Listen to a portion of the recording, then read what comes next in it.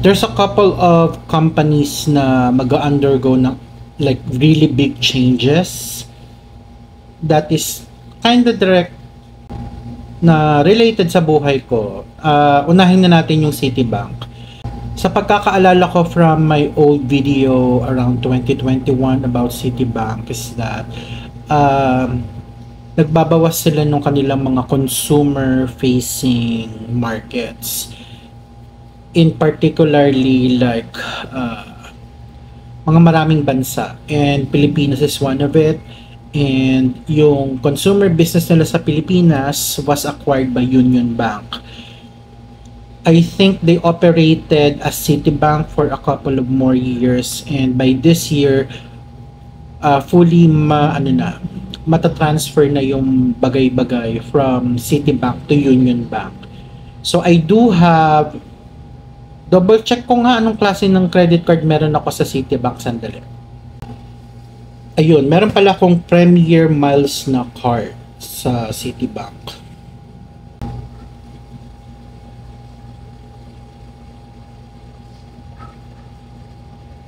Yung limit nito is relatively lower than my security bank and ayoko na lang sabihin.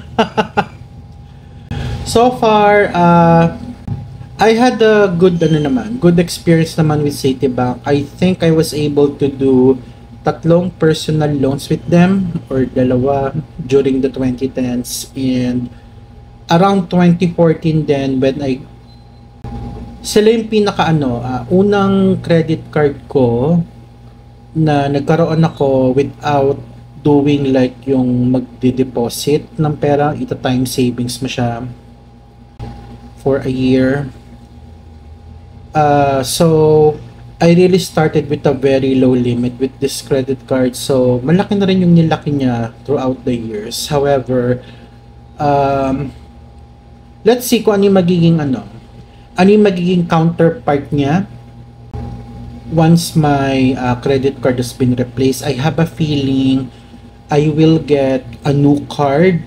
Union Bank na siya by February and I will probably make a separate video about it once I do receive it.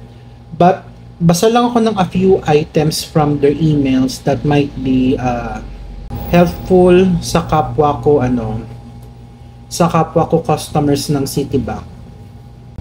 Dahil sabay-sabay tayong mag transition to Union Bank. Ayun, may nabasa akong letter from them. Yun nga, so we are happy to share, yada yada, yung city branded na credit card account ay mag-aano na siya, fully integrate sa Union Bank system. And this will uh, fully uh, happen by March 2024 and you will be informed of the exact migration with the succeeding communications. So, ayun nga po. Part of the improvements you can look forward to once the credit card has been completely migrated, yung access nga for more reward items and partners. Actually, interested lang ako ma-convert dito or to get is yung ano, mabuhay miles which I will make a separate video with my security bank and my Citibank, marami-rami na rin ako naipon na ano, na points. Ito, speaking of points, while we prepare for the seamless migration of your points, miles, and rebates, please be advised that the annual that the redemption of annual membership fee, point transfer, and cash credits can only be done temporarily via the Citibank City Phone or customer service over the phone starting March 16, 2024. Ito pa, we assure you that all of your unused points, miles, or rebates will remain intact and will be transferred to, to the Union Bank system. So far naman ano, uh, nag iimpok pa ako ng points uh, sa aking Citibank na card. So, hindi naman ako nagmamadali. I will probably... So, hindi naman ako masyadong concerned about this. I can wait. As long as wala namang maging discrepancy sa migration na from Citibank to Union Bank the system. I think I've seen a TikTok about it and yun yung mga naging concern nila. And one of that, I forgot na his name, his advice was that kung na ano man na, i-redeem mo na siya before magsarado yung system ng Citibank. From my end naman, siguro magiging advice ko is the opposite. If hindi ka naman nagmamadali,